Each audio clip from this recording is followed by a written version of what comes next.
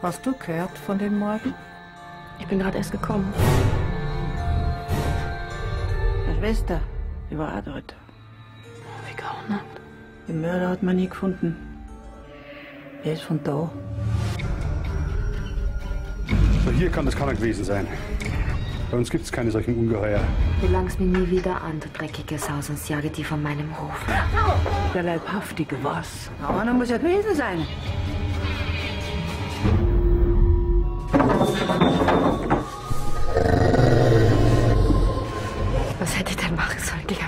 Den, der seine Sünden beichtet, steht das Haus des Herrn immer offen. Nur bei der Barbara. Da hat der Mörder dessen Medaillon vom Hals gerissen. Ihr seid alles gute Menschen. Aber wenn dann sechs erschlagen werden, dann was der Teufel.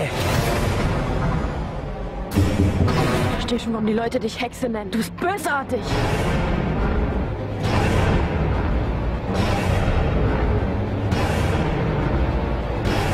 Neulich gesehen, den Höllenfürsten.